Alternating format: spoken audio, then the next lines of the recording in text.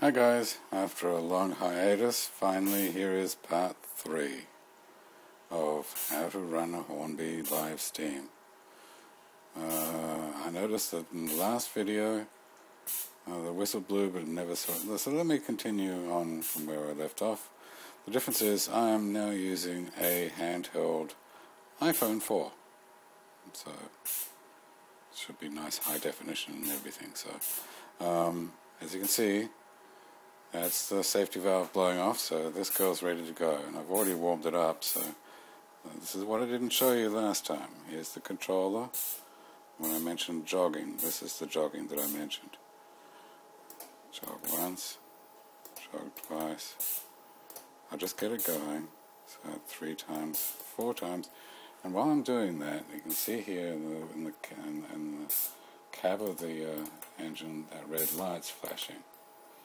When it's red, it means uh, it's stopped. Well, when, it, when it's green, it means the valve gear is set to go in a direction, either forwards or backwards. And as you can see, it just went green. So we'll continue jogging and jogging until it moves. And jogging and jogging. There it goes. Don't be afraid to give it a bit of a push, especially if it's been sitting for a while, there might be water in the cylinders. Hear that? Off she goes. I didn't do any jogging, I just sat and waited. And as you can probably hear, there's still a little bit of water in the cylinders, but they're running nicely now. Oh, slowing down because I've got a fair bit of weight on it. See, there's five carriages. Uh, these uh, the, these Hornby carriages don't roll as well as a lot of American rolling stock, so there's a fair bit of drag on this, which is a good thing because it prevents it from running away. Which is why I haven't run it for some time now. If you notice, if you haven't already noticed, I now have clear plastic around the layout. I installed clear plastic on the layout because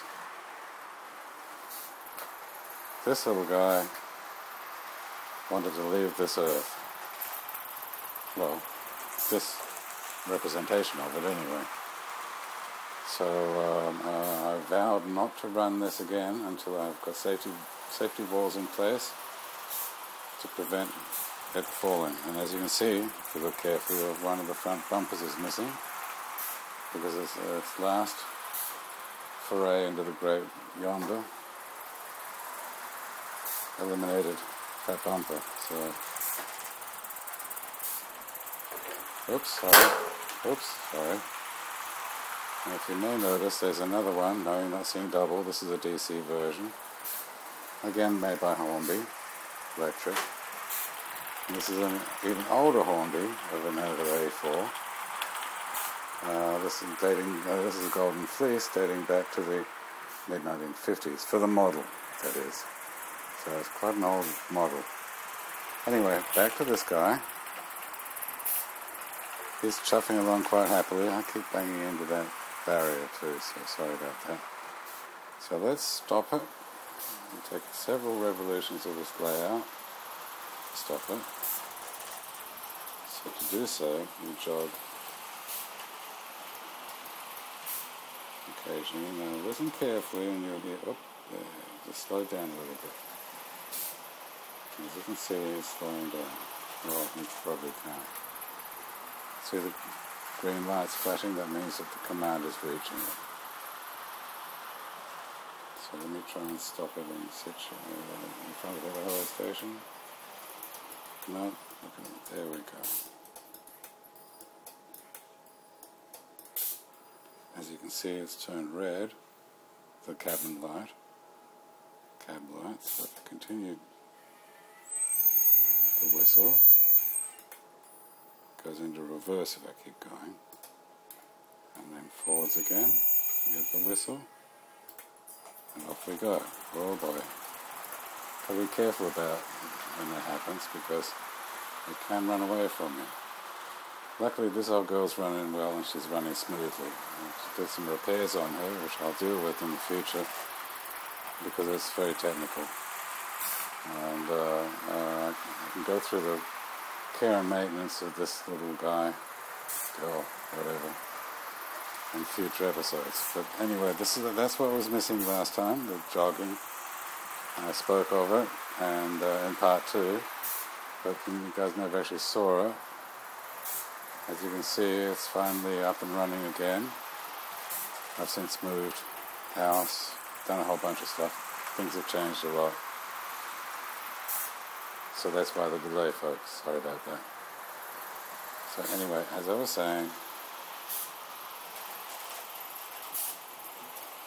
one jogs like so. There's a couple other things I've learned since um, I, our last my last episode, since our last communication. Um, namely, the control circuit, the, the, the way the way the, the, the, valve system is controlled by the uh, uh, steam for the steam engine is uh, electrically, as you know. But the way it does it is it drops it below 9 volts DC from what I can Google. Somebody put a, a scope on it or something.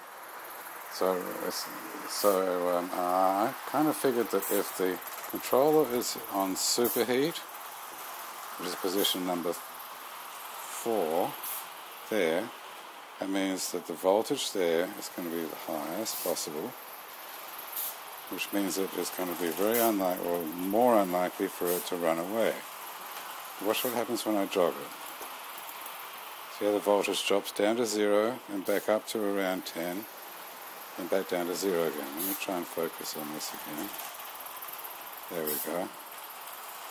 Watch it drop down to zero, flicker, and then back up. Now that little flicker, there it is again. Actually doesn't even reach five, does it? That little flicker that, um, I better slow it down. That little flicker is the command that goes down to the loco every time you jog it. So I figured if I have it on a lower voltage, and like when I turn this down here to simmer, you see how it's slightly lower? there's more chance of um, connectivity issues, bad connections, and so forth, making the damn thing go out of control. Which is why safety fence. And there she goes.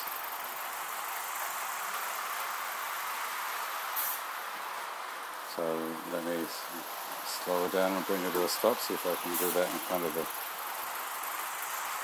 station again. Jogging, jogging in the reverse direction. And as you can see, eventually it stops. Jog once more. Jog again.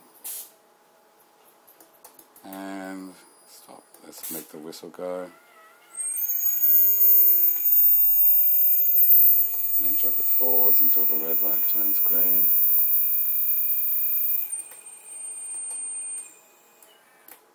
There we go. Alright, well, that's it for this one. Um, I hope you guys like it, especially Dylan. I got to email that guy and tell him I finally updated. Oh, and by the way, yes, um, uh, this is an American designed layout, which is a different scale, which is uh, HO instead of double O.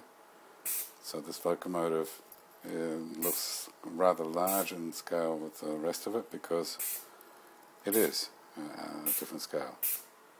Suffice to say, the track still works. The track's like an English English track, but never mind. So um, uh, I guess part four will probably be more technical. Leave me um, leave me a note if you need more details. And, uh, you know, if you want to see how to uh, care and maintain it, because um, they are very high maintenance. I had, to, do some serious work on this little guy, especially after it flies off the track. Um, but I'm in the market for a uh, Flying Scotsman.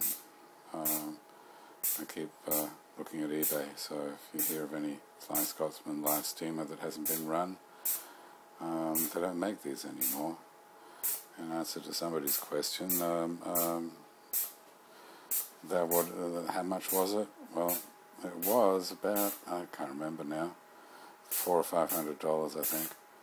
But um, uh, on, on eBay, God knows, depends on how much they want to sell it for and what the market bears because they don't make them anymore. Anyway, oh boy, it's still on superheat. Better turn it off. Hmm, haven't done that before. Anyway, talk to you later. Um, hopefully this guy isn't going to blow up in my face. And uh, as I say, leave me a link, and, and encouragement is welcome because if nobody watches this, there's no point, is there?